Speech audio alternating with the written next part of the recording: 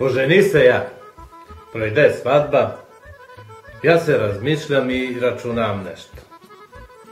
To je me žena. Šta si se bre toliko zamisleo, šta ti je?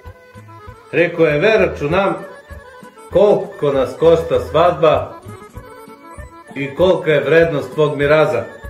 I? Šta i?